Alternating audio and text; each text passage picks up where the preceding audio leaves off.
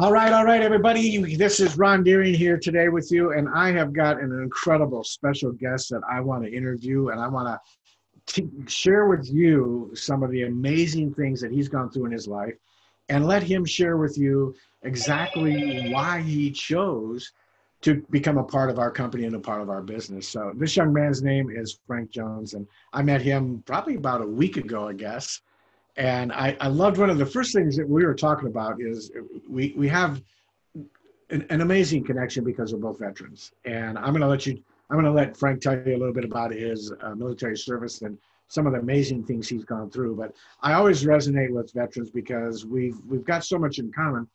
And with our business and with our product and what we have to offer, I believe veterans have so much to mm. take advantage of this and so much that seems so to be true, Ron. with that uh, I just I, I'm always any chance I get reaching out to veterans. And Frank spent over 24 years in the military in the uh, U.S. Army, and um, he's going to tell us a little bit about that.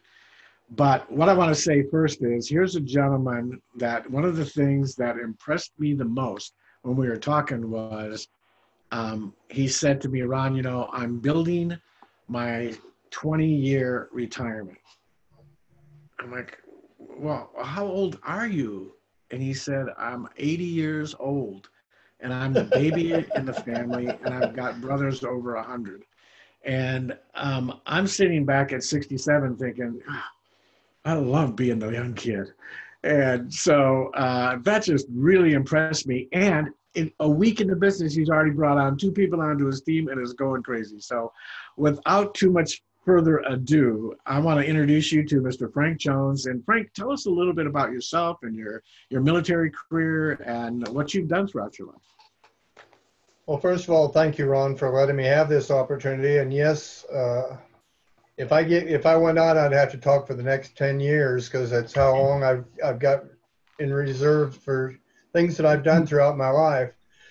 Ron, talked we've talked a lot about the military and I started my military career in 1955 but I didn't retire until 1996 so there was a few years in between there. One of those is just a quick thing. I spent 15 years in the film industry as head of production for Cathedral Films in Hollywood. I started out looking at film telling the owner of the company whether the pictures were right color or the wrong color and from there I worked my way up to head of production in that period of time. So that was kind of a career break for me that I really liked.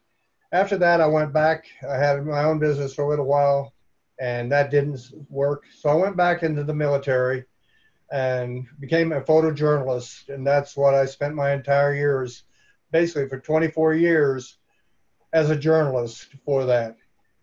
Ron was kind of interested about some of the things that I've done as a photojournalist. I did win one uh, several awards. But one of the things that I think impressed him was one, I took a photograph. I don't know how many military people are out there and know there's an airplane called the C 5A. The C 5A is the largest military plane in the United States military arsenal.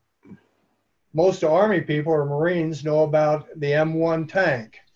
One of the pictures that I took, and I'm going to show it to you there, that's a picture of the M1 tank that looked as big as the C5A. That picture was published in every military magazine, Army Times, Army Magazine, Soldier Magazine, all over the United States.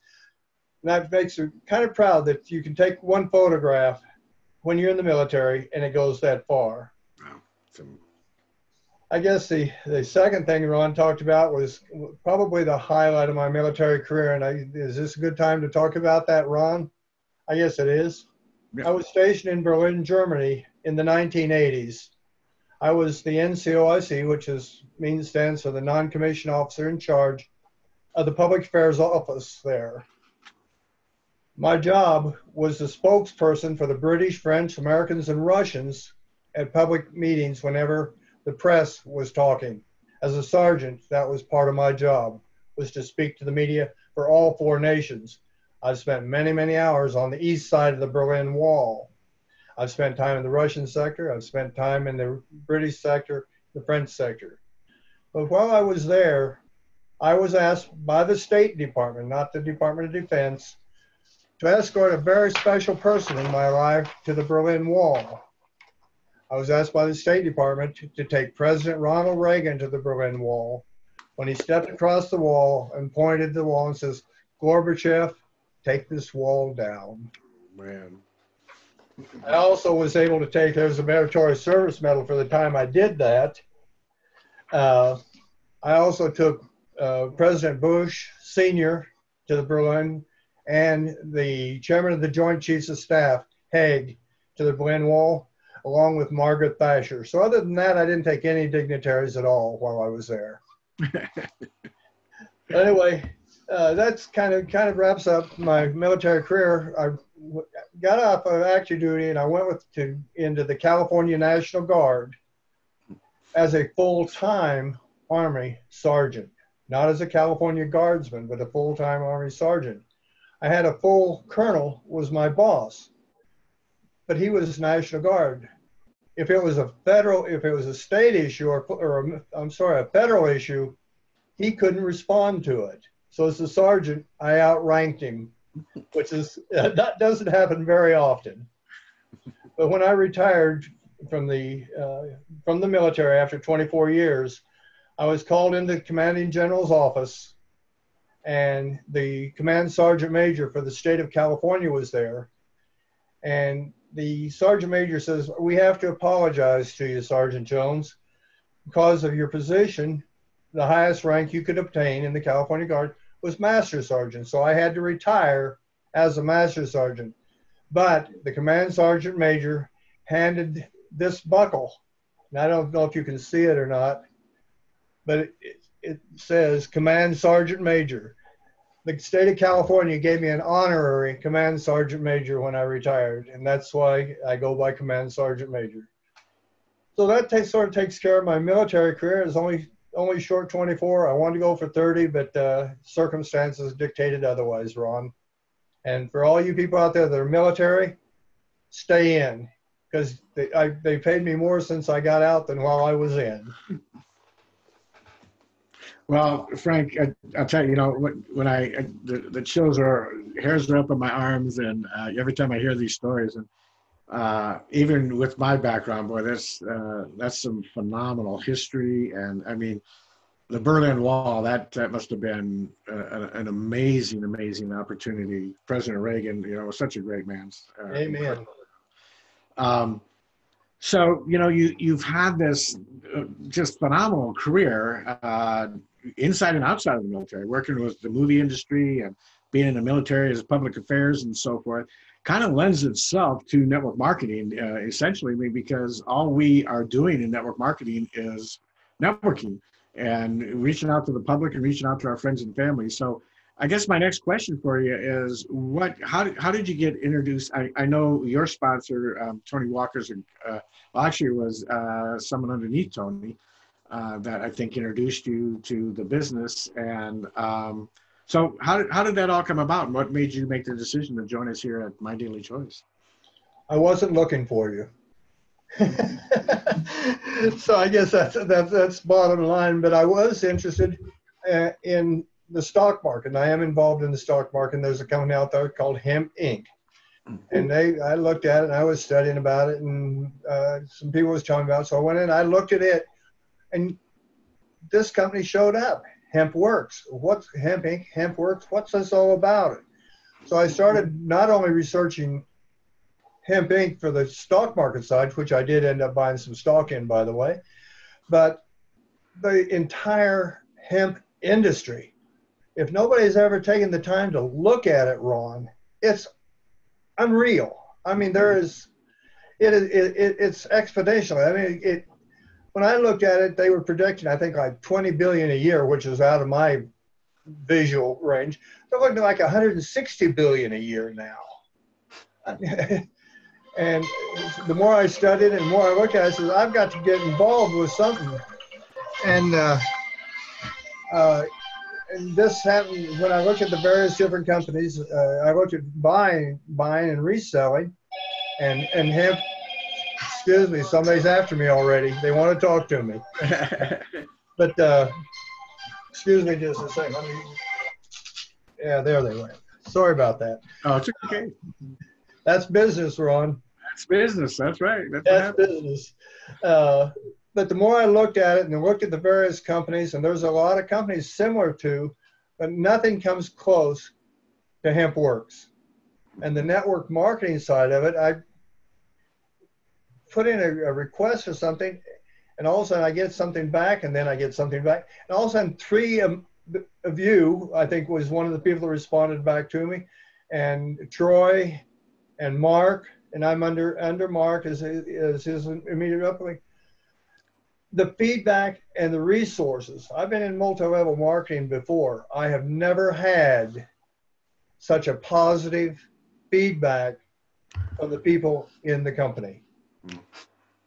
Uh, it's just, if I have a question, it's answered within minutes and usually because I put it out as a generic thing and I'll get three or four answers back. And they're not all the same, by the way, but they all lead to the same end result. And I told Ron I want to be uh, in, the, month of July. I want to have my thousand mark. And he said, and he's pushed me for five thousand. I uh, I don't know, Ron. but we'll work at it together. And that's the best part of this whole business, this whole company, is everybody so much working together. Amen.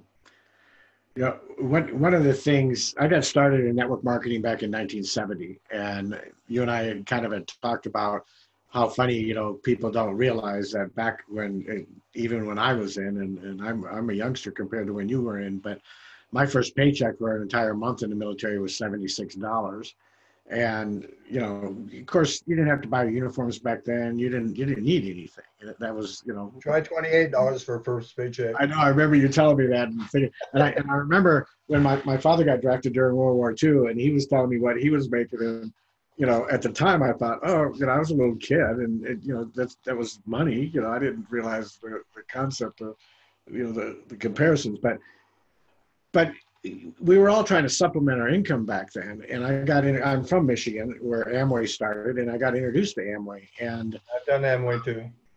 The, the whole business concept, the whole marketing concept of I become successful by helping a lot of other people become successful really just made sense to me. It was something that I resonated with a lot more than corporate America. And even though I ended up spending 25, 30 years in corporate America, um, my my love was always for network marketing and, and building organizations. And when I found this company and I saw what they were doing and I saw the product and I saw the leadership in Josh and Jenna Zwagil and where they're where they were going when I got in a year ago compared to even where they are right now. I mean in in 2017, the company started in 2014 with sprays, with nutritional sprays that were top of the line, the best of the best already. And then in 2017, they introduced CBD. And in 2017, they did $9 million in revenue.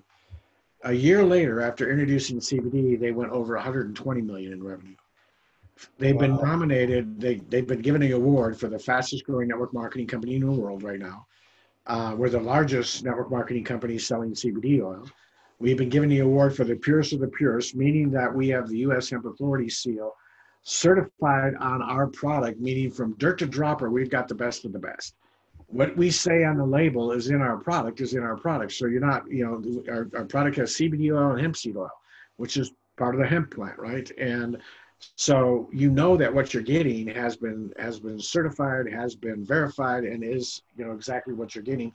And when the new labels come out here in, in very very soon, they're going to have a code, a QR code on them where you can scan that with your phone or your tablet or your iPad, and it'll take you to the exact documentation of the batch that you have in your bottle, so you'll know exactly what's in it, how much CBD, the purity of it, and everything. And and we're we're the only ones that are doing that.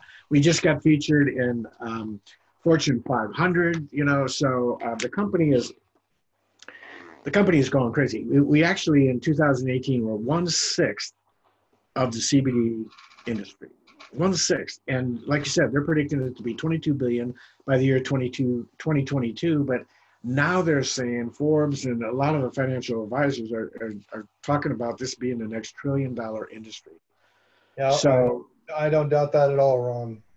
I I'm with you. I don't I don't doubt it at all. And but I'm like you in the fact that what really caught my eye on this is the leadership and the the servant hearts and servant leadership here. People, like you say, you ask a question and it's not waiting for one person to answer. You're trying to sort out the ten answers that you got. Um, and it's it's just it's a community that we're developing with a dream team that is something that I've never had before in 40 years. So.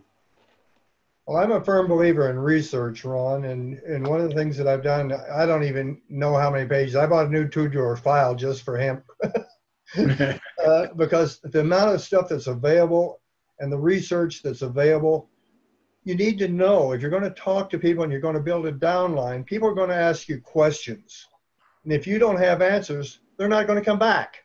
Nope. So, uh, well, and you know, one of the biggest researchers we've got going for us is Google. Yeah. Which is oh yeah.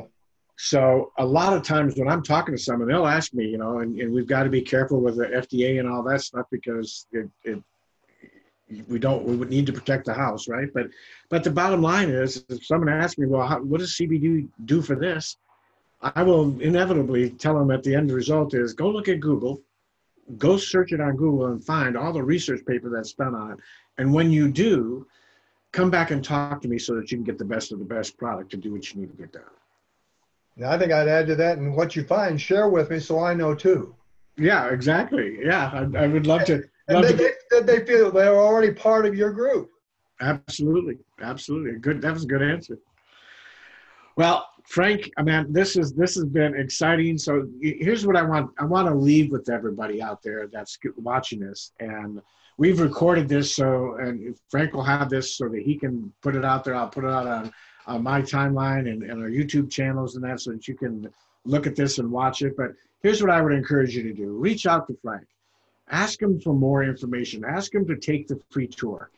We have a free tour that you can take all you have to do is put your name and your email in, take you to a site where you can watch a video of our owners. You can see exactly what this company is all about. Check out all the products, check out the company, check out the system that we have, check out the compensation plan, check out everything about it. And you'll, I would almost guarantee you, you would come to the same conclusion that I came to when I saw this. It took me about an hour after being introduced to this.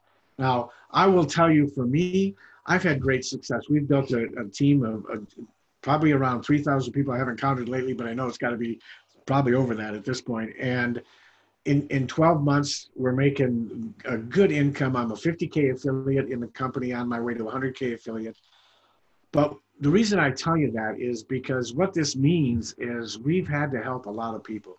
We've had to impact a lot of lives. And then one another unique thing about our company and what most network marketing companies have is they've got this ratio between the number of reps they have or affiliates they have and the number of customers. And usually the balance on that is a lot more paid affiliates and reps and a, and a small amount of customers. And the FTC and the government organizations don't like that. Well, in 2018, we don't know what the number is yet in 2019 because it's not over, but by the end of 2018, we had 400,000 customers and 60,000 reps. Really? The FTC loves us because we've got the right proportion. We're building a true solid company, and people are building true solid organizations where the customer is a continued participant by reordering our products because they're so good. And uh, like I said, the FTC and the government organizations just love that because we've got the right ratio. It's not a bunch of reps buying the product to make the company. It's a few reps selling to a lot of customers. So I'll leave you with this one last thing. Some of you remember back in 1976.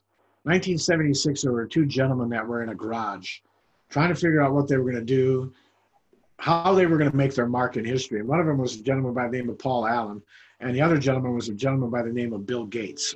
we, all, we all know who these guys are now. Right? But back then, you didn't know. They, they, they were from Harvard University. No one knew what they were going to do and who they were going to be. And now we know what they put together and what it is. And if we could go back in time, all of us would make different decisions about what they were doing, right? Well, right now, I believe that you're sitting in a garage with Ron and Frank, and you have the opportunity to be a part of something that's going to be as big as Microsoft, bigger. bigger. You need to make that choice. We're giving you the opportunity to just make a decision to check out a free tour, see if it's for you or not. But if you don't even make that choice, you've already thrown something away that could be worth millions to your family and to your family's family and to your legacy.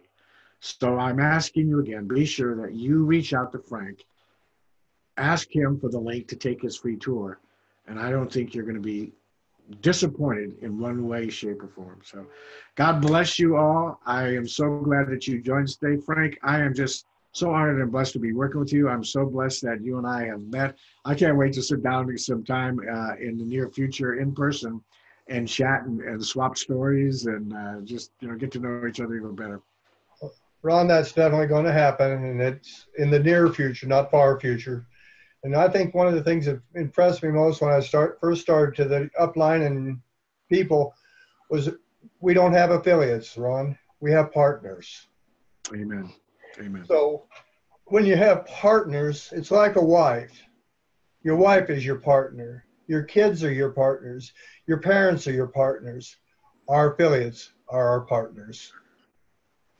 Well, God bless you, my friend. Thank you all for watching this, and I can't wait to see you on the next one. God bless. God bless.